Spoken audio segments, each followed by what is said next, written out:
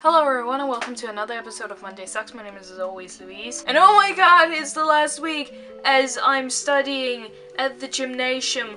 What? I say it's the last week, but then we go on a study break and then there's exams. But then, done with gymnasium, where did all those three years go? It's so weird to think about because the Fox and Sox channel is almost three years old. It's three years old in November. And that's just really, really weird, man. It was only a couple of months after we started the gymnasium that Eva and I decided to make a YouTube channel together. And look how far we've come. It's just amazing to see that there are actually people out there who want to watch our videos. I just want you to know that we're very, very, very thankful. But I, I, I can't speak today. And I'm going to this kind of audition for the school that I've applied for next week and I'm really nervous. I have to travel on the Friday and then I'm staying there on the Saturday because the audition starts at 8 o'clock.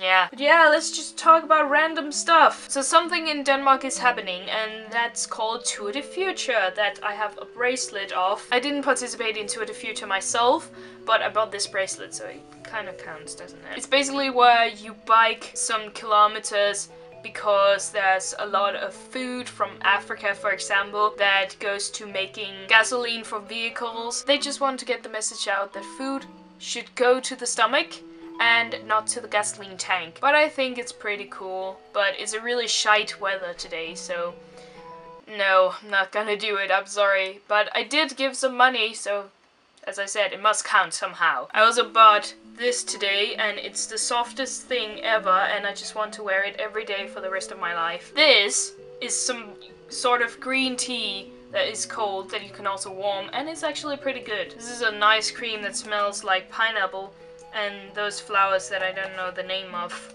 It's red there. Guys, yeah, as Daily Grace would do. I'm just grabbing random stuff now. Yeah! Okay, enough. Dust everywhere. Dust in the wind. Oh yeah, is dust in the wind. I think I have to stop now before I am going to be uh, mm -mm, crazy. Thank you guys so much for watching. I'll see you guys next week. You'll see you on Friday on the new Fuck Friday. Have an awesome week. I'll see you guys next week. Bye!